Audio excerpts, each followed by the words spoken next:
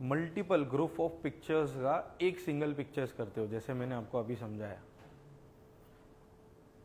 कभी कभी तो फोटोग्राफर्स लोग 50,000 इमेजेस शूट करके उसको एक सिंगल इमेज में स्टैक करते हैं। ताकि वो डिटेल्ड आपको आप अगर आप गूगल पे सर्च करोगे किसी एक यंगस्टर ने ही किया है वो चीज़ फिफ्टी थाउज़ेंड पिक्चर्स लेके उनको एक सिंगल इमेज में स्टैक किया है। तो सोचो उस इमेज का डिटेल क्या रहेगा। राइट तो वो वाली चीज़ भी आप पिक्सल शिफ्ट शूट में कर सकते हो। आपके पास अगर टेलीफोटो लेंस है टेलीफोटो का मतलब 180 600 भी अगर आपके पास है 180 600 लेंस भी अगर आप यूज़ कर रहे हो, और आपने आपका कैमरा ट्राईपॉड पे लगाया हुआ है ट्राईपॉड पे लगा के आप जब वो इमेजेस लोगे, ये कैमरा मैक्सिमम 32 इमेजेस लेगा, ठीक है? Group of picture 32 images maximum लेगा, और उसका 96 मेगापिक्सल का इमेज आपको बना के। ग्रेट ना? मतलब कोई अदर दूसरा इक्विपमेंट ढूँढने से आपके कैमरे में ही वो फीचर है, आप यूज़ कर सकते हो। है ना? तो ये तो आपका क्रिएटिविटी है कि वो पिक्सल शिफ्ट शूट को आप किस तरह से यूज़ कर रहे हो। आप, मैंने जो जो बताया आपको, वही फ़ोटोज़ के लिए यूज़ कर रहे हो, या और भी आपका क्रिएटिवनेस लाने के लिए फ़ोटोज़ यूज़ कर रहे हो। कोई पोर्ट्रेट का भी एक फ़ोटो ले ले चेहरे का, बहुत ज़्यादा डिटेल वाला। है ना? तो वो भी वर्क कर सकता है। पोर्ट्रेट्स भी उसमें यूज़ हो सकते। बस चैलेंज ये है कि आपका पोर्ट्रेट स्टिल होना चाहिए, क्योंकि वो नंबर ऑफ़ फ्रेम्स ले रहा है। हर फ्रेम में स्टिल आना चाहिए। अगर आपका वो हलता है सब्जेक्ट या फिर कैमरा वो इमेज आपको एक नहीं बना के दे सकता। ठीक है? तो पिक्सल शिफ्ट शूट आ गया। फिर इसमें ऑटो फोकस वी ऑप्शन है। ऑटो फोकस वीआर सुना है किसी ने? नहीं। स्टेबिलाईजेशन सुना है क्या करता है स्टेबिलाईजेशन स्टिल वीडियोस और फ़ोटोज़ के लिए वो काम आता है। तो फॉर एग्ज़ाम्पल अभी हम बोलेंगे क्या बाकी जितने भी कैमराज है आज मार्केट में, उनका स्टेबिलाईजेशन कहाँ काम करता है? सेंसर के? सेंसर के सेंटर में काम करते हैं। सभी स्टेबिलाईजेशन ये फॉर एग्ज़ाम्पल आपका सेंसर है तो सेंसर के सेंटर में काम करने का काम करता है स्टेबिलाईजेशन बट इसमें जो स्टेबिलाईजेशन है, वो लिंक्ड है आपके ऑटो फोकस के साथ. इसलिए उसको बोला है ऑटो फोकस वीआर तो जहाँ पे आपने फोकसिंग पॉइंट रखा, पूरा स्टेबिलाईजेशन वो एरिया में काम करेगा. तो फॉर एग्ज़ाम्पल ये राइट अपर कॉर्नर में भी आपका अगर फोकसिंग पॉइंट आपने प्लेस किया हुआ है तो पूरा स्टेबिलाईजेशन आपका अपर राइट कॉर्नर में काम करेगा. सिर्फ़ सेंटर में काम ना करते हुए वो ये करेगा। और आपको चॉइस है ऑन या ऑफ़ मतलब आपने ऑफ़ किया तो बाकी सभी कैमरास के जैसे वो सेंटर में काम करेगा। जब आप उसको ऑन करोगे तो वो लिंक हो जाएगा आपके ऑटो फोकस के साथ। ठीक है? ऑटो फोकस वीआर उसमें दिया हुआ है। देन अगर वीडियोस के लिए देखते हैं तो मैंने जैसे बताया 4K 120 एफपीएस तक मैक्सिमम ये शूट करता है। 6K 60 एफपीएस पे शूट करता है। और फुल एचडी में ये 240 एफपीएस तक के आपको शूट करके दे सकता है। सुपर स्लो मोशन जिसको हम बोलते हैं। एक होता है स्लो मोशन, एक होता है super slow motion. Slow motion आपका फोर टाइम्स होता है और super slow motion eight times ठीक है? तो फोर टाइम्स में वो कितना होगा फ्रेम नॉर्मल फ्रेम रेट क्या होता है वीडियो का? 24 ठीक है? इंटू फोर हंड्रेड ट्वेंटी या थर्टी ये नॉर्मल फ्रेम रेट होता है वीडियो का राइट जो हम सिनेमा पे या इस पे देखते हैं ट्वेंटी फोर या फिर थर्टी होता है। तो into four thirty into four one twenty. तो वन ट्वेंटी एफ़ मतलब फोर टाइम स्लो हो गया आपका राइट और एट टाइम स्लो करना है तो टू फोर्टी एफ़ राइट तो ये मैक्सिमम 240 एफपीएस भी शूट करके दे सकता है। तो अभी, और अगर आप देखोगे इसमें, पहले क्या, जो Z62 था, वो आता था 8 बिट इंटरनल 8 बिट उसमें मैक्सिमम आप शूट कर सकते थे राइट ये कैमरा में आप इंटरनल 12 बिट भी वीडियो शूट कर सकते हो। इंटरनल। अब पहले वाले कैमराज में लॉग भी इनबिल्ट नहीं था, उसके लिए एक्सटर्नल रिकॉर्डर लगाना पड़ता था, तब जाके आप लॉग शूट कर सकते थे। आज ये कैमरा में इंटरनली लॉक शूट करेगा वो, विदाउट एनी एक्सटर्नल रिकॉर्डर। आपको कोई एक्सटर्नल रिकॉर्डर रिक्वायर्ड नहीं है जब आपको लॉक शूट करना है। और ये 8 बिट 10 बिट 12 बिट तीनों ऑप्शंस आप सिलेक्ट कर सकते हो तीनों में। फॉर एग्जांपल आप एक छोटा सा वेडिंग या छोटा सा बर्थडे पार्टी शूट कर रहे हो। आप 12 बिट का वीडियो करोगे क्या? नहीं। क्यों? वो प्रोजेक्ट उतना बड़ा है ही नहीं ना। आपको 12 बिट उधर रिक्वायर्ड है ही नहीं। 12 बिट कब यूज़ करोगे आप? जब एक अच्छा सा बड़ा प्रोजेक्ट कर रहे हो। जैसे कि अभी सर ने एक डॉक्यूमेंट्री या छोटा सा फ़िल्म दिखाया। वो फ़िल्म कर रहे हो जो आगे जाके थिएटर पे दिखाने वाले हैं। आप उस फुटेज को बाद में थिएटर रिलीज़ या वो प्लान कर रहे हो, ऐसा अगर कुछ शूट करना है, जो सर ने दिखाया डॉक्यूमेंट्री शूट कर रहे हो, वो डॉक्यूमेंट्री आगे चल के, या फिर शॉर्ट फ़िल्म शूट कर रहे हो, आगे चल के सबके सामने प्रेजेंट करने वाले हो थिएटर में, उस टाइम पे आप 12 बिट शूट कर सकते हो। मतलब बड़े प्रोजेक्ट्स जो है, उन सब प्रोजेक्ट बड़े प्रोजेक्ट्स के लिए ही 12 बिट यूज़ हो सकता है। ऐसा नहीं कि आप बर्थडे पार्टी कर रहे हो बर्थडे पार्टी में 12 बिट किया, नहीं। 12 बिट का अगर वो वीडियो है तो उसको रिक्वायर्ड है कि आपका मशीन भी उतना स्ट्रांग चाहिए। जो एडिटिंग मशीन है आपका, वो भी उतना स्ट्रांग चाहिए। तो फ़िलहाल के लिए अगर आप बर्थडे कर तो एट बिट कर सकते हो। वेडिंग कर रहे हो तो टेन बिट कर सकते हो। मोस्टली अभी फोटोग्राफर्स यूज़ कर रहे हैं टेन बिट बिट्स में फ़र्क पता है आपको क्या होता है? Eight bit ten bit twelve bit क्या करता है? आपको पता है। बाकी? पता है? ठीक है, मैं बता देता हूँ। बिट्स क्या होता है ना, फ़ोटो के लिए भी और वीडियो के लिए भी। जेपेक का फ़ोटो आपको 8 बिट पे शूट होता है राइट और रॉ का फ़ोटो आपको सॉरी बोलो 14 बिट रॉ का इमेज आपको 14 बिट्स कलर शूट करके दे सकता है। तो बिट्स में क्या फ़र्क है? फॉर एग्ज़ाम्पल 8 बीट में जब आप शूट कर रहे हो मेजर थ्री कलर्स कौन से अपने? आर जी बी ठीक है? तो रेड कलर है। तो 8 बिट में क्या होगा? रेड कलर के 256 शेड्स कैमरा देख सकता है। कितने? 256 एक कलर के। मतलब रेड के 256 शेड्स ग्रीन के 256 एंड ब्लू के 256 बस, ठीक है? 10 बिट में क्या होगा? वही शेड्स बढ़ जाएँगे। फॉर एग्ज़ाम्पल रेड कलर आपको देगा 1024 शेड्स देख सकता है कैमरा ग्रीन भी 1024 शेड्स और ब्लू भी 1024 शेड्स फॉर एग्ज़ाम्पल अब ये कौन सा कलर है? और ये? दोनों रेड है?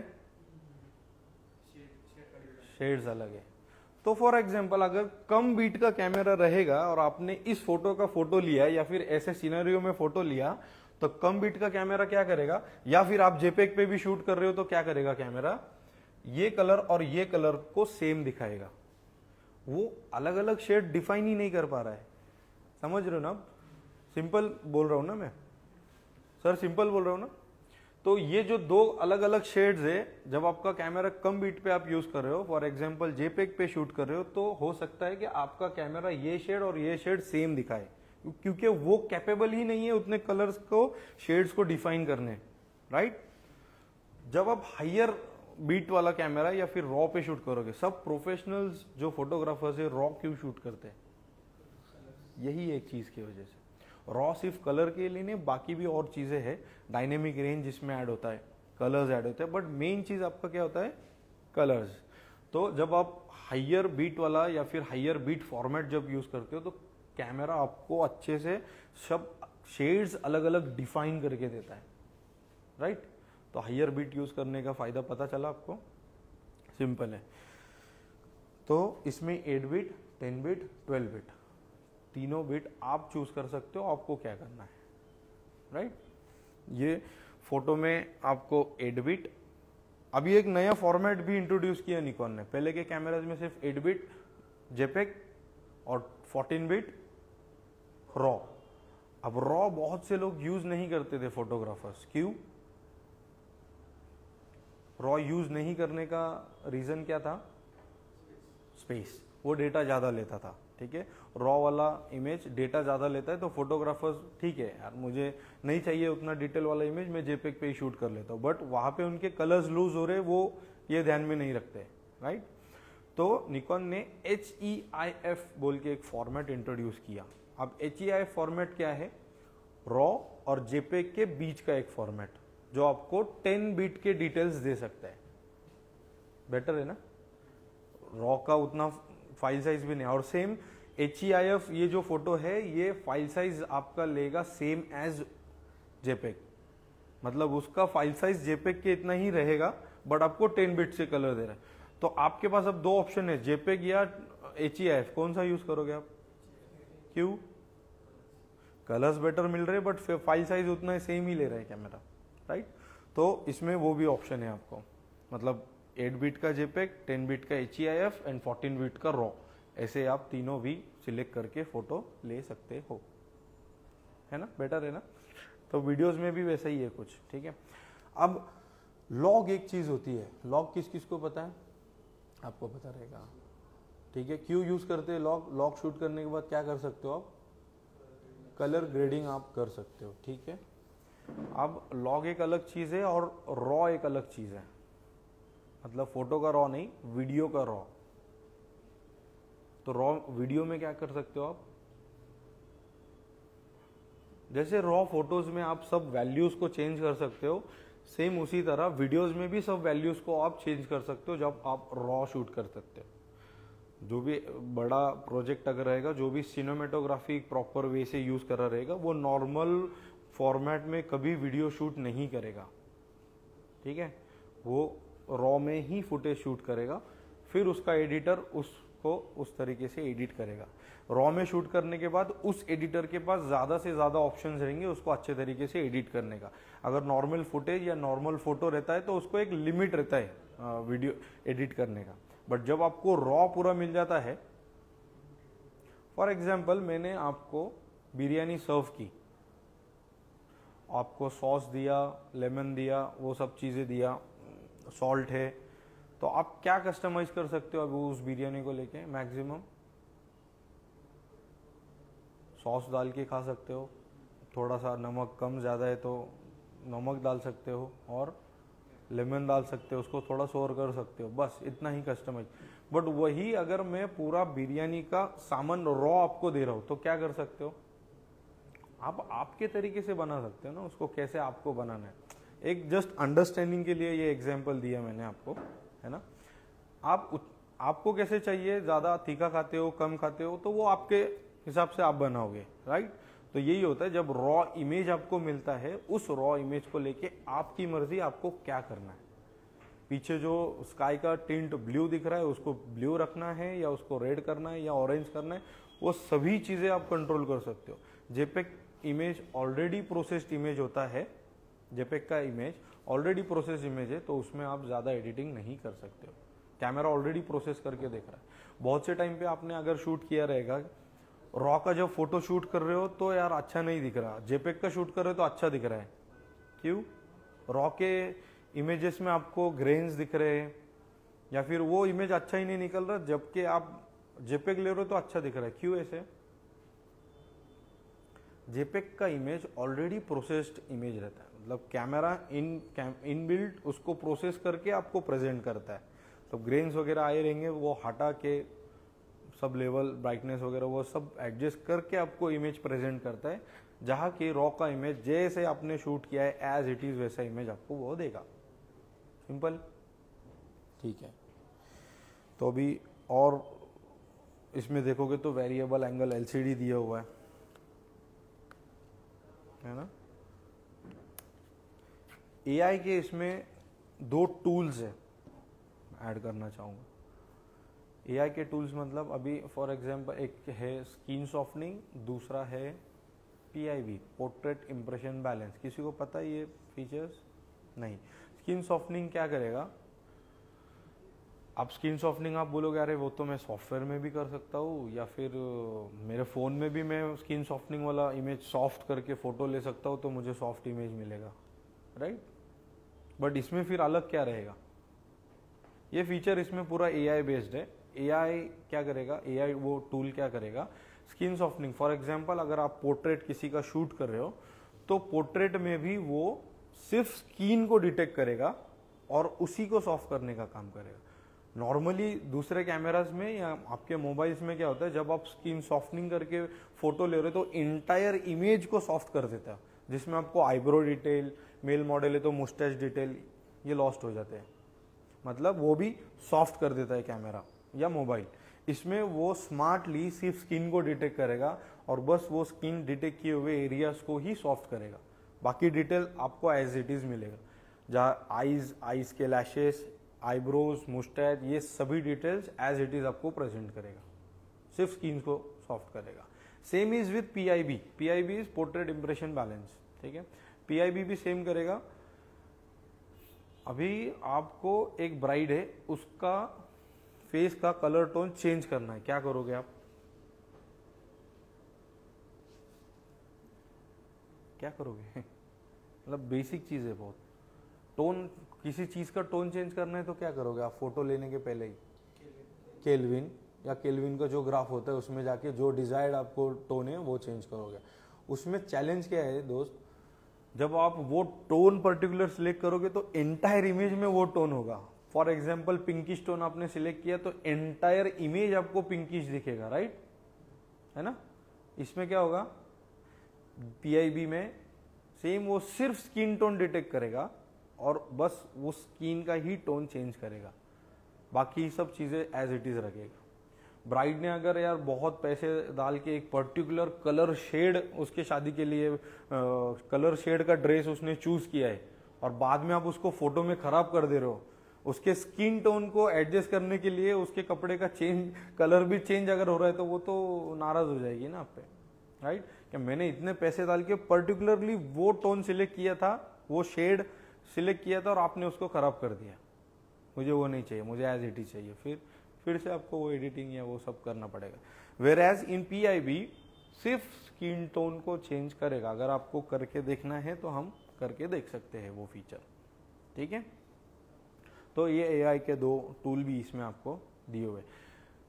ये वाला जो फीचर है ये वीडियो में भी काम करेगा फ़ोटो में भी काम करेगा। सीन सॉफ्टनिंग एंड पी ये दोनों में भी काम करेगा। मतलब आपका वीडियो जब आप ले रहे हो, किसी पोर्ट्रेट का वीडियो ले रहे हो, पहले से ही आपने स्किन स्मूथ कर रखा है, बाद में जाके आपको एडिटिंग में कुछ करने का ज़रूरत ही नहीं है। बाय डिफ़ॉल्ट मिल रहा है आपको, जो भी है। है ना? तो ऐसे बहुत सारे चीज़ें हैं। अब आप हैंड्स ऑन उसका ले सकते हो। आपको वन बाय वन वो चीज़ें यूज़ करके देखनी है, या कैमरा परफॉर्म कैसे कर रहा है। कैमरा में स्पीड वाइज बहुत सारे अपग्रेड है। जैसे कि उसमें प्रोसेसर ही अपग्रेड किया हुआ है। एक्सपीड सेवन का प्रोसेसर उसमें दिया हुआ है। एक्सपीड सेवन का प्रोसेसर क्या करेगा? फास्ट है बहुत फास्ट है। पहले था एक्सपीड सिक्स अभी है एक्सपीड सेवन तो हर चीज़ में फास्ट हो गया। वो फोकसिंग में ऑलमोस्ट टेन टाइम्स बेटर बोलोगे तो भी चलेगा। वो टेन टाइम्स बेटर है है ना? तो आई ऑटो फोकस पहले जैसे होता था और अभी जै, अभी जैसा होता है आप देखोगे तो बहुत ज़मीन आसमान का फ़र्क है उसमें। ये बहुत फास्ट रिएक्ट करेगा। इसका जो फोकसिंग का अल्गोरिदम भी है, वो भी एआई बेस्ड है। तो फोकसिंग भी उतना स्ट्रांगली वो करेगा, ठीक है? आप hands on one by one ले सकते हो, आप जिसको चाहिए। दो, तीन, सर, एक दोन फ़ोटोज़ घ्या वेगवेगळे अँगल नाही कोणते अभी एक्सपीड सेवन का प्रोसेसर अगर इसमें देखोगे तो सेम एज Z8 और Z9 जो फ्लैगशिप मॉडल्स है निकॉन में Z9 और Z8 सेम प्रोसेसर आपको इसमें अभी मिल रहा है एक्सपीड 7 का, ठीक है? फिर बॉडी के अर्गोनॉमिक्स देखोगे तो वो भी थोड़े इंप्रूव्ड है। Z8 से स्लाइटली थोड़ा छोटा और Z6 2 से स्लाइटली थोड़ा सा बड़ा, ऐसा बॉडी दिया है आपको, है ना? तो मिररलेस का वो जो एक था कि मिररलेस में सब कॉम्पैक्ट ही कैमराज आते हैं तो वो अभी नहीं, ठीक है? असे क्या सर अड़वे तो इसका viewfinder world brightest viewfinder दिया है इसका। अब तक का सभी कैमराज में वर्ल्ड ब्राइटेस्ट वी फाइंडर इसमें मिल रहा है आपको। ठीक है? वो आप चेक कर सकते हो। ठीक है? डुअल मेमोरी कार्ड स्लॉट दिया हुआ है एक सी एफ़ एक्सप्रेस के लिए और एक नॉर्मल एसडी के लिए। सी एफ़ एक्सप्रेस आप कहा यूज़ करोगे? वीडियोस वगैरह जब आपको करने हैं, फोर के वीडियो सिक्स के वीडियोस करने हो तो आपको चाहिए कि हाई स्पीड का कार्ड आप यूज़ करो। तो उसमें C F express type B का कार्ड उसमें आपको दिया हुआ है। ठीक है? और आपको चाहिए कि फ़ोटोज़ लेने हैं, एक डिसेंट 300 हंड्रेड का U H S two S D card use करना है तो वो स्लॉट भी आपको इसमें दिया हुआ है। ठीक है? तो वन बाय वन या फिर ग्रुप में आप कैमराज देख सकते हो। मैं उसको रीसेट कर देता हूँ एक बार।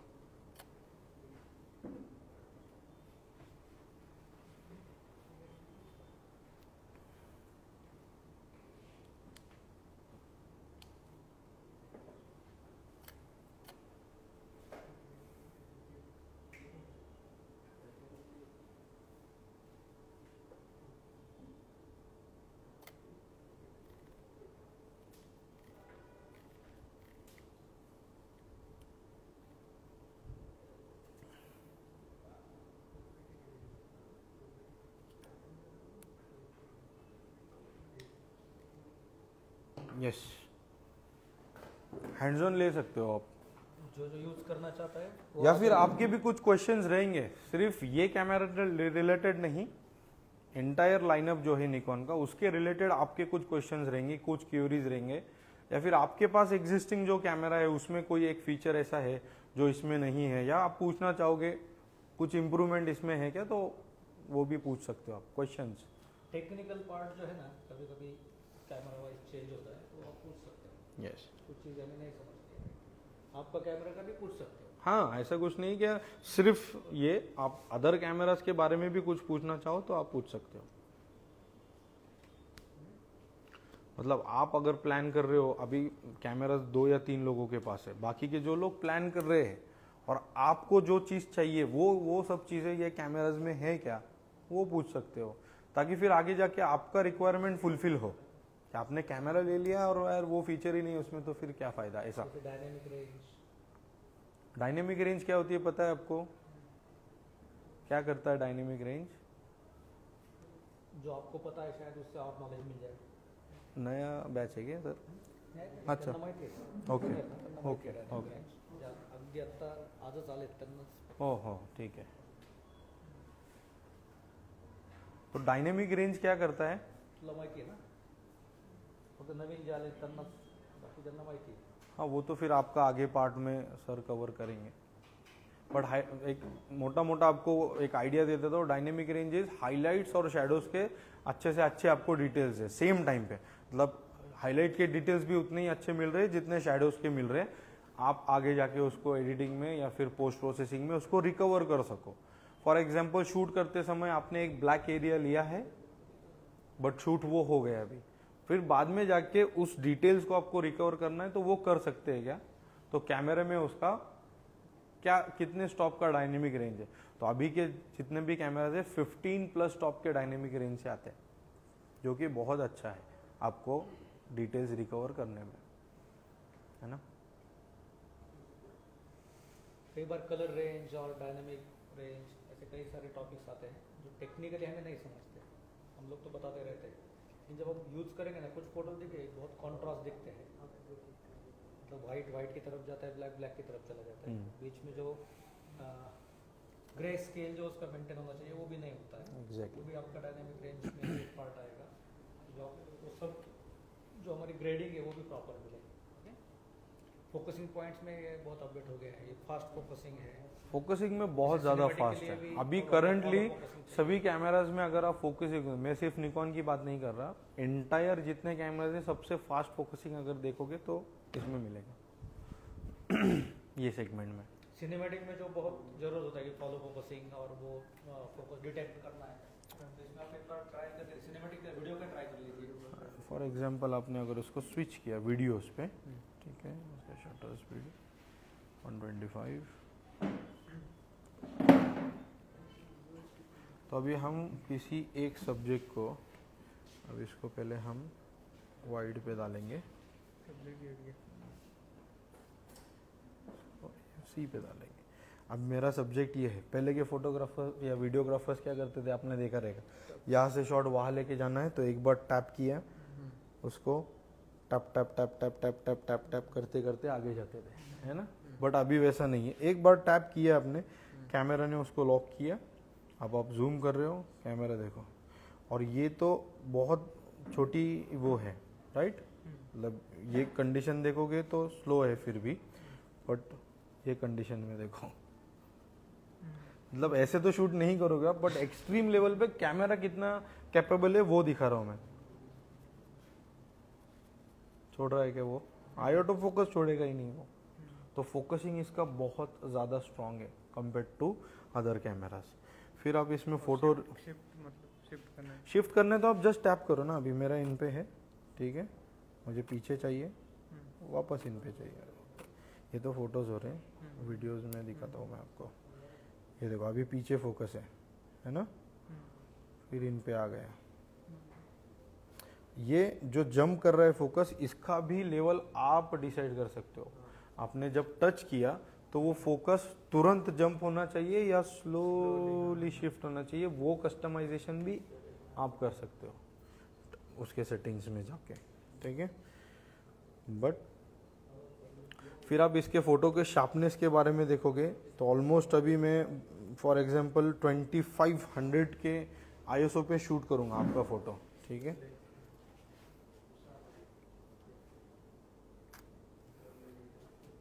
ये देखो। अगर ये इतना आईएसओ लेके बाकी कैमरे में शूट करूँगा ना तो 101 परसेंट ग्रेन्स आना चालू हो जाएँगे। बट इसमें आपको ग्रेन्स दिखेंगे नहीं।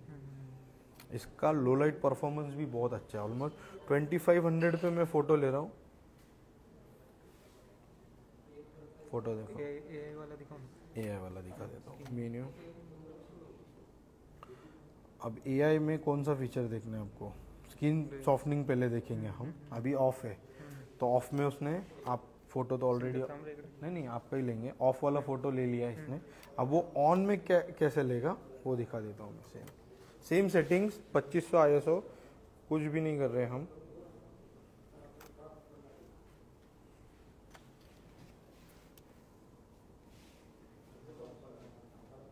दिख रहा है आपको और वो स्मार्टली करेगा।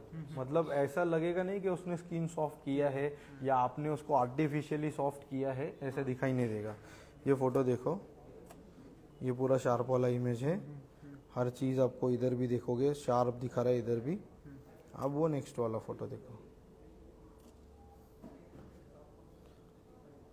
बाकी ये डिटेल्स देखो आईब्रो के डिटेल्स सेम उसने वैसे ही रखी, उसको सॉफ्ट करने की ज़रूरत नहीं नहीं तो फ़ोटो खराब हो जाए। बट चिन पे अगर आप देखोगे, उसने जो सॉफ्ट किया आपका बियर्ड और मुस्टैच भी जैसे के वैसे डिटेल्स है इसको भी सॉफ्ट नहीं किया। दो फ़ोटो में फ़र्क। सेम हम देखेंगे अभी वो वाला पीआईबी वाला। अभी आपका फॉर एग्जांपल मेल मॉडल है तो आपने क्या किया इसको? फेयर किया। ठीक है, अब इनका एक फ़ोटो लेके देखेंगे, आ जाओ।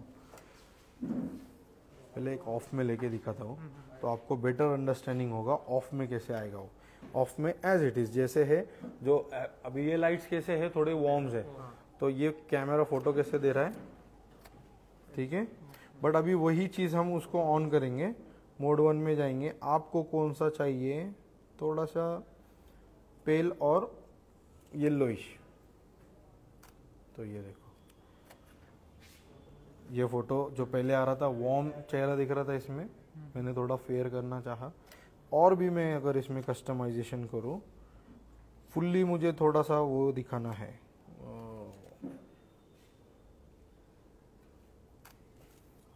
ये देखो। ये अलग ये अलग ये अलग। बैकग्राउंड देखो पर बैकग्राउंड चेंज नहीं कर रहा वो जो ग्रेइश बैकग्राउंड दिख रहा है वो ग्रे ही है हर फ़ोटो में सेम है है ना? तो सिर्फ़ फेस का स्किन वो डिटेक्ट करके उसको चेंज करने का काम कर रहा है है ना? तो एआई टूल ये इस तरह से काम करेगा।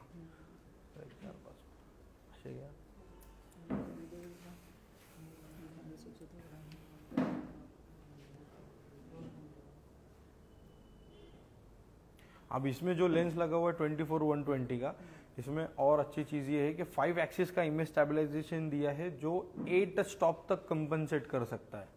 एफ़ फोर है। एफ़ फोर है ये बट एट स्टॉप तक कंपेंस कर सकता है। अभी स्टॉप्स में क्या होता है? For example normal lenses five stop में कंपनसेट करते हैं। तो उसका मतलब क्या? अभी मैं अगर 50 एम mm यूज़ कर रहा हूँ तो मेरा शटर स्पीड क्या चाहिए एज पर रूल 50 से बेटर चाहिए। थम रूल ये है कि 50 से बेटर चाहिए। वैसे तो 50 से ऊपर क्या होता है? 60 राइट तो अभी ये 60 होना चाहिए। मैं इसके पाँच स्टॉप नीचे जाऊँगा फिर भी। एक दो तीन चार पाँच। वन बाई ट्वेंटी पे मैं फ़ोटो कैसे ले रहा हूँ? देखो किसी भी टाइप का स्टेबलाइज मैं खुद को नहीं कर रहा हूँ। व्यू फाइंडर भी यूज़ नहीं कर रहा हूँ। मैं हवा में हाथ है ठीक है? तो अब मैंने 120 पे किया इसका मतलब क्या हुआ? मुझे आईएसओ कम करने का मौका मिला है ना? लो लाइट में जब आप काम करते हो आप स्टिल हो जो एक अच्छे फ़ोटो के लिए यहाँ पे मुझे कितना आईएसओ यूज़ करना पड़ रहा था आपने देखा अभी? 2500 तो अभी मैं सीधा आ गया 500 पे और 500 पे मैंने फ़ोटो लिया without any stabilization one by twenty का इमेज है without any stabilization viewfinder भी यूज़ नहीं किया। ये वन बाई ट्वेंटी का इमेज है बोलो। आप इसमें थोड़ा भी शेक दिखा दो किधर। क्या शेक आया है इसमें?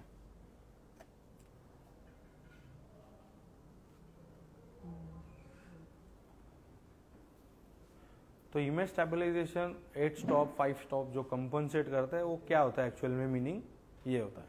क्या एक्चुअल रूल जो है, उस बैरियर को तोड़ के मैं और नीचे आके फ़ोटोज़ ले रहा हूँ, ठीक है? अब हर सिचुएशन में तो आप ऐसे फ़ोटो नहीं निकालोगे बट बहुत ऐसा सिचुएशन है जहाँ लाइट भी कम है, आपके पास फ्लैश भी नहीं है। और करना है आपको तो फिर कर सकते हो। यदि होगा। करो